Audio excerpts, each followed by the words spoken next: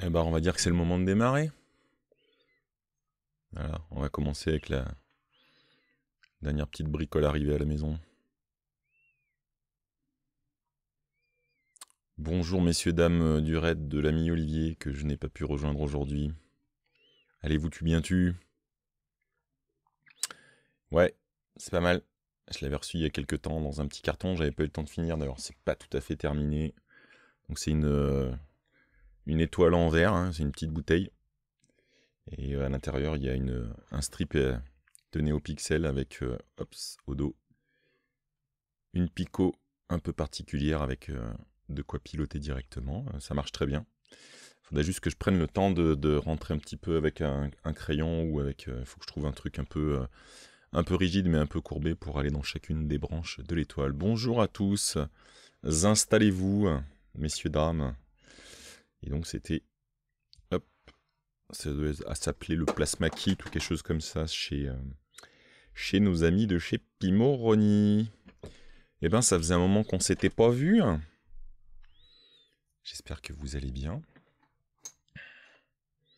Moi, j'ai un petit retour à la réalité après euh, une semaine de vacances en Crète et puis euh, une semaine à Londres pour Devox UK. Donc, il faut, faut, se recaler sur le rythme, le rythme quotidien habituel. Donc voilà, je voulais commencer avec ce petit plasma kit parce que j'ai recommencé à mettre la main sur mes petits projets que j'avais un peu trop laissés en attente. Ben, on va attaquer parce qu'en plus j'ai pas commencé très tôt, puis j'ai plein plein de petites choses qui m'attendent côté boulot j'ai pas mal de petits euh, retards et autres. Euh, tac. Je voulais vous donner un petit aperçu. Voilà. Quand je suis allé à Devox UK avec euh, mon ami Pierre Tibul, on est allé présenter un talk qui s'est appelé Cosplay and Tech. The Great Adventure. Donc j'avais parlé un petit peu du coffre, je voulais vous donner un petit coup vite fait d'aperçu des, slides. Je vous mettrai un lien, ça a été capté, il y a une vidéo, donc je vous mettrai le lien de la vidéo et des slides plus tard. C'est juste pour vous montrer un petit peu euh, ce qu'on présente, voilà, avec quelques cosplays que Pierre, que Pierre a fait euh, par le passé, plus ou moins lointain, parce que le Last of Us, il n'y a pas longtemps qu'il l'a fait. Voilà, donc c'est ce genre de, de présentation avec toute une partie sur la partie cosplay formidable de, de, Pierre, toute la couture qu'il a faite, tout le comment il a créé son, son masque, il y, a, de l'impression 3D, tout ça, enfin il y a pas mal de choses. Je vais vais pas spoiler plus, voilà, et puis la partie, euh, la partie avec euh, l'ancien coffre que vous avez connu et le nouveau coffre. Donc c'était pour vous donner une petite idée, un petit aperçu. Euh, si j'ai le temps, je vous montrerai je vous montrerai un peu euh, ce qui a fonctionné, comment ça a fonctionné. Alors Goose, c'était sympa de dire un super talk, mais la dernière fois, la partie démo n'ayant pas n'ayant quasiment pas fonctionné, c'était pas c'était pas complet. Là, c'était déjà plus complet, ça allait mieux. Un tout petit pet à la fin dans un, un dashboard Grafana, mais vraiment tout le reste fonctionnait. Je pense que le coffre, c'est quand même mieux foutu. J'ai eu vraiment un fonctionnement parfait au niveau hardware. Pas de problème de masse, contrairement à l'autre fois. Donc, euh, salut Nicodev Android. Euh, donc voilà, si, si, euh, si j'ai le temps, après avoir vous en montré tout le reste, je, je vous partagerai un peu plus de détails du code et tout ça. De toute façon, ça va tout être partagé, j'ai un repo, j'ai tout ce qu'il faut. Malgré tout, j'avais mis de côté quelques petites news, alors je sais qu'Olivier en a abordé, abordé certaines. Je me suis gardé, cette news là sur le, le Fairbuds, c'est le casque que la société Fairphone euh, sort. Donc toujours avec l'idée euh, Bonjour Code Wizenra. Ah, je vois qu'il y a une question. Alors, question sur ce projet. Tu nous as montré l'ajout d'une batterie externe, il me semble, la dernière fois. Sur le, sur le coffre, là? Je suis pas sûr, sûr, mais euh, peut-être. Où est-ce qu'elle est?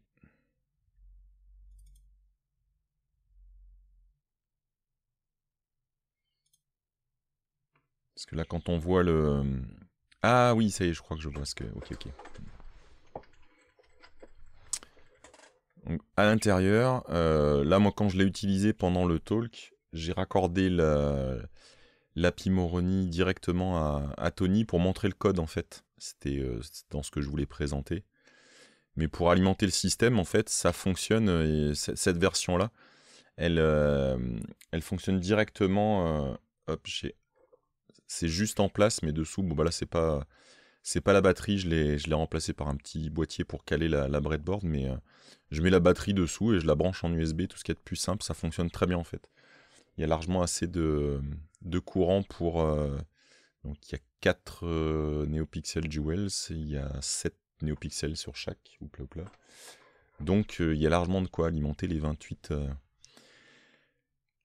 Les 28 néopixels, ça s'alimente sans problème. Euh, je l'ai pas là, mais c'est une petite batterie très très classique. Hein, les, batteries USB portables, j'ai pris celle que j'utilise quand je suis en déplacement, c'est une, une 10 000 ampères, je crois.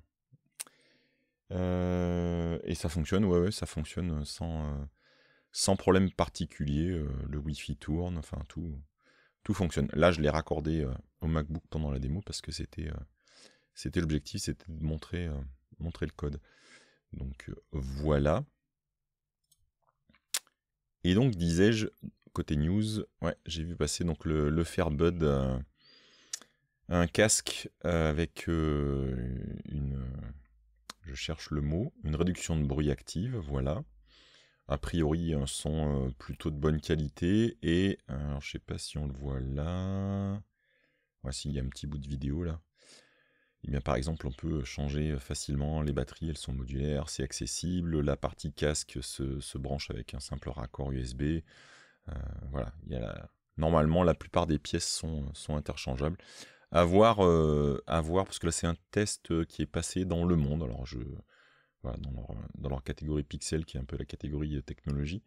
À voir quand il y aura des tests audio un peu plus poussés. Euh, ils avaient l'air de dire que la réduction de bruit était un peu moindre que les, casques classiques haut de gamme, donc il euh, faut quand même que ça soit, efficace. Mais bon, en tout cas, voilà, une belle alternative avec, euh, avec l'approche de Fairphone, l'entreprise qui, qui, essaye d'être équitable dans les, dans les usines où elle fait travailler les gens, de faire attention aux matériaux, d'être, euh, d'être réparable.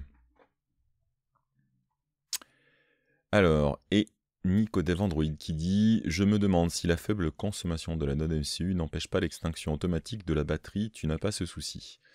Alors, euh, donc je sais pas, je pense que ce que tu appelles les nodes MCU, c'est les, ESP, les ESP, avant les 82, 8266, on les appelait aussi nodes MCU, maintenant je sais pas les, les, ESP32 si on continue de les appeler des fois comme ça. Euh, avec euh, en tout cas la Raspberry Pico, non, alors je sais pas, ça doit peut-être dépendre des, types de, des types de batteries. Euh, je mesurerai, tiens, il faudrait que je vois la consommation totale euh, exacte, mais euh, on doit être sous les 500 mAh, mais pas loin. Donc voilà, après, comme je suis pas en pleine, pleine intensité lumineuse, on va peut-être pas, on va peut-être pas atteindre cette limite. Donc non, mais Ouais, le peu que je l'ai utilisé, c'est après je l'ai fait tourner un peu sur la, sur la batterie, j'ai pas eu ce souci. Maintenant, je l'ai pas fait tourner tout le, tout le temps du talk, par exemple. Euh, pendant le talk, il était sur le relié au MacBook, donc j'ai pas eu, pas eu ce test. Je, j'essaierai à l'occasion, j'essaierai de le connecter euh, et de voir euh, si, si, la batterie effectivement, elle se met pas en, veille. Je ferai un test. Mais c'était une bonne, oui, effectivement, une bonne idée. ben, merci pour tes questions. C'est J'y suis là pour ça aussi. Euh, après cette histoire de Fairbud, je voulais vous partager. Alors, ça date de. Quand est-ce que ça date exactement? Euh, bah, Ça me le rouvre donc. Tac, tac, tac. Ça date du 28 avril. C'était un, un tweet de, de l'ami Guillaume Laforge qui partageait euh, quelque chose qu'il avait trouvé d'amusant à faire avec les enfants. Donc, j'ai pensé à vous. ça s'appelle sketch de meta metademolab.com. L'idée, c'est de, partir d'un dessin d'un dessin d'enfant et euh, de proposer des animations. Donc, je voulais vous montrer, parce que j'ai fait un petit test, euh, vous montrer comment ça a fonctionné. Donc, l'idée, c'est vraiment de partir. Donc là, on va y aller avec mes grands talents de dessinateur. Et puis, alors, à la souris euh, sur un ordinateur, pas de souci. Est-ce que on va augmenter un peu la taille des traits pour que ça se voit peut-être. Hop. Donc, on va faire un, bon vieux bonhomme patate, hein, avec des yeux. Hop. vous allez voir. on lui mettre même un sourcil, on lui met un nez. On lui met une bouche. Hop. Voilà, vraiment le genre de dessin euh, simple hein, que je... À la souris, c'est quand même un peu l'enfer, mais bon. Hop. On va lui faire aussi les jambes. Et... Hop. Oups là, là, là, quand même, là c'est un peu exagéré. décidément, la deuxième jambe, ça veut pas. On va faire comme ça. Hop, hop. Vraiment un monsieur patate tout simple. Que j'ai appelé bonhomme. Il suffit de, charger en fait le dessin de base. Donc là, c'est le, bonhomme que j'ai montré. Il va essayer de détecter, parce qu'il peut y avoir plein de choses dans le, dessin. Il va essayer de détecter l'endroit où, se trouve le personnage. Donc on peut l'aider en, en ajustant la zone. Voilà. Normalement, de toute façon, il s'en sort bien sur un truc aussi simple, il n'y a pas de souci. Voilà.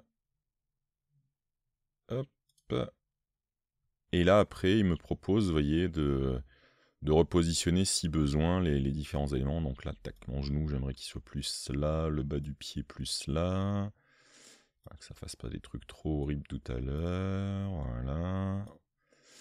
On peut ajuster, même si c'est étrange. Voilà. Et à partir de là, donc il en a déduit le personnage, il en a déduit un squelette, squelette qu'on a ajusté. Ah, il y a un côté du bonhomme qui n'était pas fermé. Ça fait un résultat étrange. En tout cas, voilà, il propose des, petites animations.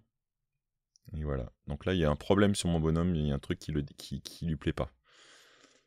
L'essai que j'avais fait tout à l'heure était moins creepy quand même. Alors.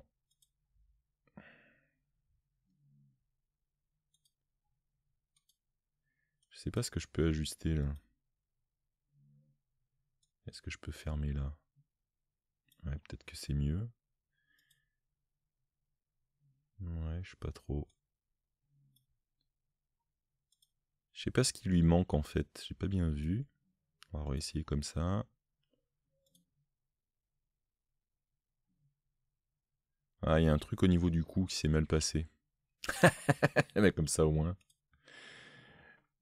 Alors, est-ce que je peux retoucher ça?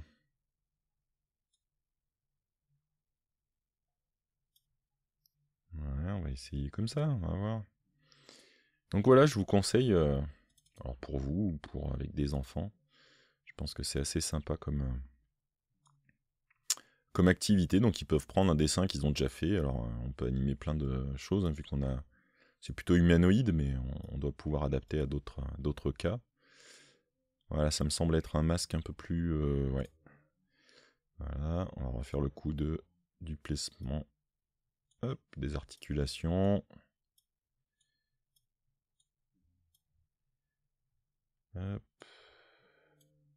Et on va voir ce coup-ci ce que ça donne. Voilà, il ne démonte pas. Donc voilà, il vous propose un certain nombre de petites animations euh, sur la base de ce squelette. Euh. voilà, il danse. Franchement, je trouve ça assez sympa. Je trouve que c'est une idée euh, assez sympathique. Encore une pour la route. Voilà, c'est voilà, ça fait une belle animation. Donc, je ne sais pas ce que ça donne quand on réussit à lui mettre une image un peu plus complexe. Est-ce que c'est toujours aussi sympa? Est-ce que j'ai quelque chose en stock euh,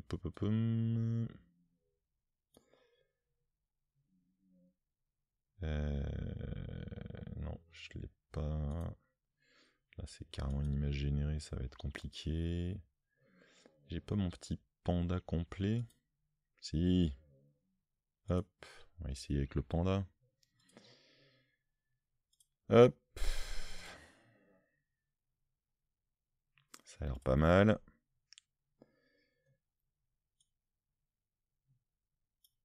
Voilà. Alors le problème, le problème c'est que je l'ai dessiné avec les pieds devant.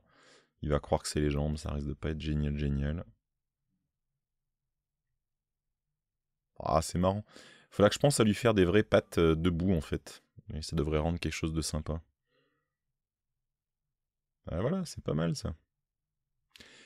Donc voilà, je voulais vous proposer ce genre de ce genre d'activité, soit si vous avez des enfants, soit soit pour vous, pour, pour vous amuser comme, comme je viens de le faire. Ouais, je pense qu'avec des enfants ou en partant de dessins qu'ils ont déjà, puis de leur proposer de faire de, l'animation sur cette base, je pense que ça peut le, ça peut, ça peut le faire, ça peut le faire.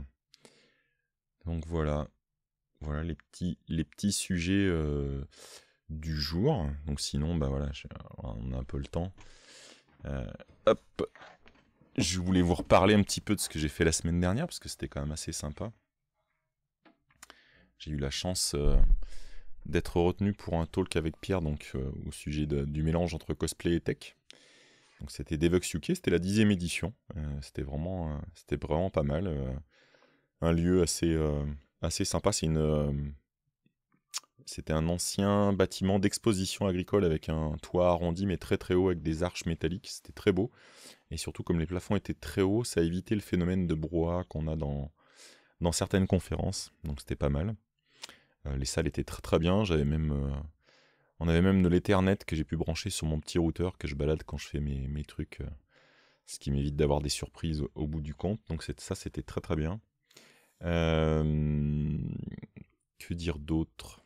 Si, ouais, le matin, c'était rigolo parce qu'on a fait un tour avec, avec Pierre. Euh, on était à côté de King's Cross, à côté de Saint Pancras, qui est l'arrivée de l'Eurostar, en fait, à Londres. Donc un endroit très fréquenté, très touristique. Et on allait se balader le matin avec nos, tenues, donc avec son immense tête de Heimerdinger. Et finalement, ce qui était marrant, c'était de croiser tous les looks euh, des fois improbables que peuvent avoir les Anglais, et en particulier les, Londoniens. Ça n'a pas, euh, ça pas beaucoup euh, choqué de monde. Il y avait deux trois personnes qui nous regardaient un peu bizarre, mais pas tant que ça. Et surtout, c'était rigolo parce qu'une une jeune femme est venue nous voir parce qu'elle voulait savoir si c'était un cosplay. Elle voulait savoir s'il y avait un événement surtout parce qu'elle était à fond elle aussi dans le cosplay et elle était surprise d'avoir raté un événement cosplay. Donc on lui a expliqué ce qu'on faisait et ça l'a fait délirer. Qu'on aille dans une conftech avec avec l'idée de présenter aussi le cosplay au milieu de tout ça, ça, l'a bien bien bien fait marrer. Super météo, j'ai eu un temps pourri en arrivant à Lyon alors que j'ai eu du soleil tous les jours à l'ombre, un peu de pluie aussi en fin de journée des fois, mais c'était vraiment, c'était vraiment super. Et donc c'était l'occasion pour une fois d'y être en tant que speaker, pas, sponsor, ça m'a permis de, me balader un peu différemment, c'était, c'était assez sympa de croiser plein de gens. J'ai vu pas mal de talks évidemment, il y avait beaucoup de sujets autour de l'IA. On va voir des trucs peut-être que je vais pouvoir récupérer. Et surtout, en faisant mes tweets, j'ai la, la responsable, en Natalia, je crois, si je dis pas de bêtises, la responsable des communautés des, Google Developer Group, qui a vu que j'étais à Londres. Elle m'a dit Ah, ben alors si tu es à Londres, euh, on a, on a la soirée Google I.O. Euh, dans les locaux de Google avec le. Avec le GDG, alors c'était le GDG Cloud, je crois, en tout cas le GDG de, de Londres. Et donc on a été invité avec Pierre à aller dans leurs locaux, donc c'était marrant comme euh, de, voir ces, locaux-là. Enfin, un de leurs bureaux, parce qu'à Londres, ils ont quatre bureaux différents. Là, celui-là, c'était un peu le côté euh, les commerciaux, ce genre, de, locaux. Mais c'était sympa de se retrouver là-bas. Alors après, moi, Google I.O., j'ai un peu lâché tout ce qui était Google et tout ce qui était Android. là, c'était 200 000 couches de. On va mettre de l'IA partout. Donc voilà, maintenant, il faut plus dire un assistant. Hein, vous pouvez dire, vous de l'IA. On, on zappe la partie, c'est que du machine learning, mais c'est pas grave. Mais bon, il y aura peut-être des cas d'usage intéressants. Et puis ça a fini, c'était assez rigolo. Alors, le public anglais est assez euh, particulier. Il y avait peu de réactions en fait. Euh, c'était assez, euh, assez tranquille et posé. Même pendant notre talk, qui est pourtant un, talk un peu, un peu fun. on a quand même eu des réactions, heureusement. Et là, pendant la Google I.O., il y a eu un moment où il y a eu la présentation du, Pixel Fold, le téléphone pliable que Google a annoncé. Et euh, c'est vrai que la présentation, je trouvais que, contrairement à, celui de chez Samsung, il présentait plein d'applications qui avaient vraiment été pensées pour l'usage avec un téléphone pliable, avec un téléphone potentiellement à deux écrans, enfin des choses comme ça. Donc tout le monde était intéressé. On a, là, j'ai senti voilà, qu'il y avait un peu des hauts, des bas. On sentait que c'était un peu plus intense. Et la dernière chose qui est dans la présentation, c'est le prix. Et là, ils ont annoncé 1800 dollars. Et là, la salle intégralement a explosé de rire en disant que c'était un peu un petit peu exagéré. De toute façon, je crois qu'ils le vendent qu'aux US parce qu'on n'est on est, préparé en France pour recevoir ce genre de ce genre d'outils. En tout cas, c'était assez marrant. Donc voilà, voilà. et puis ben voilà, de retour, j'ai essayé de vous faire quand même une émission. Ça faisait plusieurs fois qu'on s'était pas vu. J'ai aussi passé une bonne semaine de vacances en Crète. Je vous conseille, je sais pas pour le reste de la Grèce, mais en tout cas en Crète, les Crétois sont, les Crétoises et Crétois sont des gens adorables. Donc j'étais bien sûr pas en pleine saison, ça doit sûrement jouer et aider un peu, mais c'était vraiment c'était vraiment super, euh, super sympa, vraiment des gens euh, à la cool, quoi, comme j'aime. Quand tu prends le temps de discuter avec les gens, ça se passe toujours bien, mais alors avec eux, le contact était très facile, c'était vraiment euh, super sympathique. Donc voilà, je sais pas si... Qu'est-ce que j'avais dit? Je vais éventuellement vous montrer ça, mais je crois que je vous ai déjà tout montré l'autre fois. Hop. Hop, hop, hop. Si vous avez des questions, allez-y. Hein. Hop, je vais pas faire grand chose avec le, coffre, il est en plein soleil. C'est vrai, j'ai fait la proximité de Cré et la Crète. C'est quoi la prochaine destination? Il bah, va falloir qu'on se décide rapidement, ce qu'on voulait cet été retourner en Bretagne avec ma femme, donc euh, je vous dirai. Pas de destination, hein. si, c'est pas encore décidé, une destination un peu plus exotique, mais c'est pour 2024. Euh, alors, que je vous repartage ça vite fait quand même. Oui, oui, oui, je vais aussi au camping des speakers, évidemment. Si vous n'avez pas votre place pour le camping des speakers, il est encore temps. On peut encore acheter une place pour le camping des speakers. Alors, hop.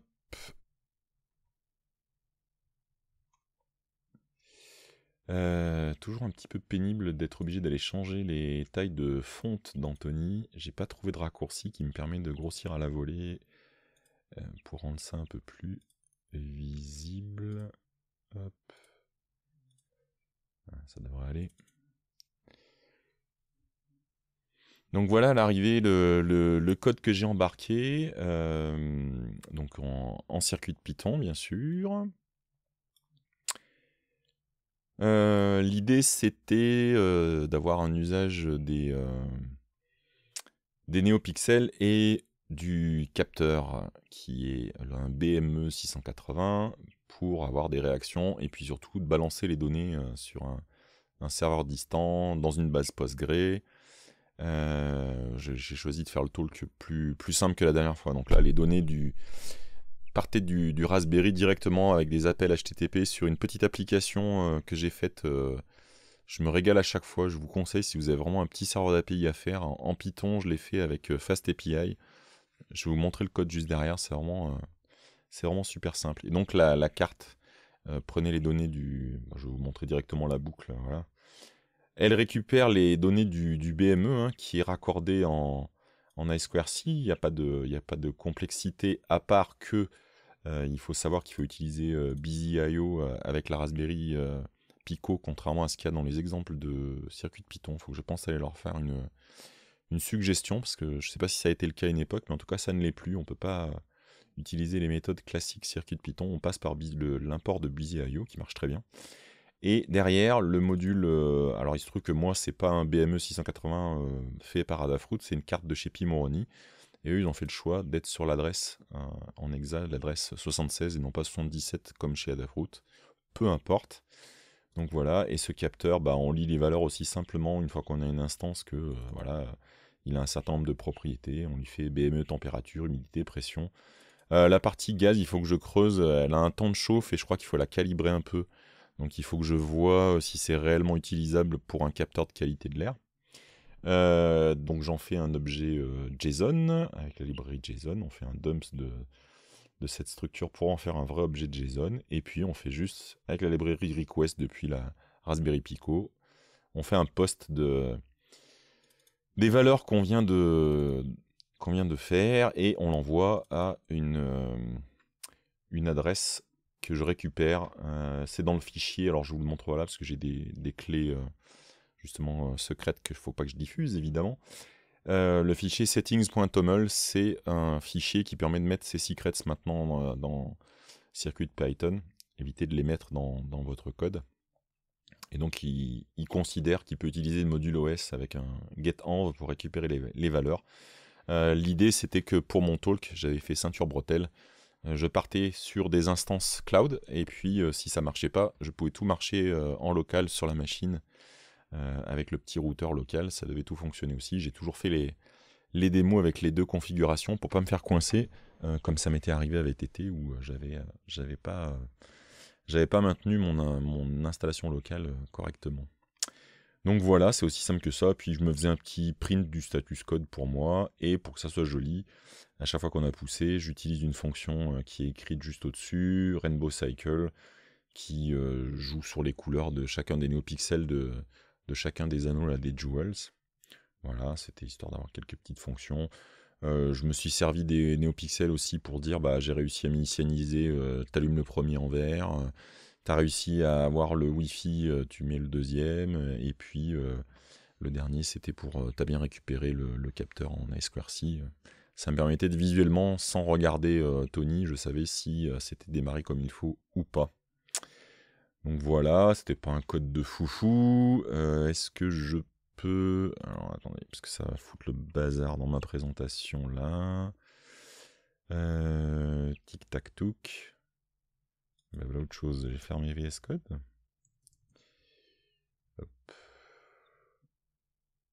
Voilà. Salut Pitchy. Je peux vous repartager du coup. Hop. Euh, hop. Et donc, côté, euh, quand je vous disais que c'est simple en Python avec FastAPI de faire un serveur d'API, euh, bon, il y, a beaucoup de choses autour, mais euh, l'idée de base, c'est juste vous importer FastAPI, donc une ligne. Deuxième ligne, vous lui dites que vous créez une application FastAPI. Voilà, ça fait deux. Et à partir de là, il suffit de créer des fonctions asynchrones qui chacune, grâce à une annotation aussi simple que ce que vous voyez là, vous mettez un apt get ou dans mon cas on a aussi le apt post euh, pour gérer euh, les différents, les différents cas. Vous mettez le, endpoint que vous voulez euh, que vous voulez utiliser et dans la fonction bah, vous, vous faites tout, tout, ce que vous pensez avoir besoin de faire. Donc là par exemple pour les, les capteurs j'affichais ce qui était reçu, je, on reçoit directement une valeur en fait depuis grâce à FastAPI depuis euh, ce que vous avez envoyé. Et puis, euh, bah voilà, j'ai utilisé SQL Alchemy et la deuxième librairie. j'ai oublié. Non, mais c'est SQL Alchemy plus un dérivé. Et donc, ça permet d'avoir des objets qui représentent les modèles que vous avez en base de données. Ce qui fait que, ben, sans, sans faire de code supplémentaire, je lui dis que voilà, j'ai modélisé un, ce qui va représenter ma table avec les valeurs. En gros, qui m'a envoyé ça, euh, quel est le timestamp, euh, et puis euh, les valeurs de température, humidité, tout ça. Et directement, en faisant un, usage de cette librairie, je rajoute cette valeur, je fais un commit et hop, ça va l'inscrire dans ma base de données. Donc c'est assez sympa. Et de la même façon, dans l'autre sens, on avait un petit système où en fait Pierre avait fait un deuxième objet, c'est un poro, c'est l'espèce de petit compagnon de Heimerdinger, une espèce de petite boule de poil avec des cornes toutes mimi il avait des grandes moustaches avec des cerveaux moteurs. Et il interrogeait cette API et on considérait que j'avais deux seuils de température qu'on a ajustés après sur place en fonction de la température là. Et les moustaches s'agitent plus ou moins vite en fonction du degré de température. L'idée c'est de faire comme s'il y avait un danger qui approchait. Donc c'était, assez euh, rigolo. Voilà, euh, bah, comme ça je vous ai montré deux petits bouts de code euh, de ce qu'on a présenté avec Pierre. Voilà, je, vois que ça a papoté sur la Bretagne. Ouais, ouais, venez, il y a plein de talks super. Oui, évidemment. Il y a monsieur, monsieur Poncé, il y a monsieur Olivier, donc il y a, il Gouze qui fait aussi quelque chose. Il y a plein de gens super sympas. Donc ceux qui peuvent venir en Bretagne les 15 et 16 juin. Voilà. Prochaine étape, refaire un Nabastag. Euh, pourquoi pas, mais euh, j'ai un petit blocage, c'est que j'en avais un de Nabastag. Et, euh, et je sais pas ce qui s'est passé. Pourtant, j'ai pas déménagé depuis, mais il a disparu et ça m'énerve. Sinon, je lui aurais. Euh, sans, racheter les cartes toutes prêtes, là, parce qu'il y a des cartes qui ont été. Euh, qui ont été publiées, qui sont super sympas avec des nouveaux serveurs et tout ça. J'aurais bien refait l'intérieur de mon Avastag, mais je ne le retrouve pas et je suis bien dégoûté. Voilà, voilà. Euh, oui, Kios, il en a, il a acheté une des cartes. Oui, oui, il y avait eu un, financement participatif d'une des cartes basée sur une Raspberry, si je dis pas de conneries, qui lui permet de faire de, nouvelles choses avec son son Avastag. Donc ça, c'est une bonne idée. Et qu'est-ce que tu nous dis au Pipichi L'année prochaine, il faudra venir me voir quand je serai là-bas. Ah, en Bretagne Ah, mais avec grand plaisir, bien sûr.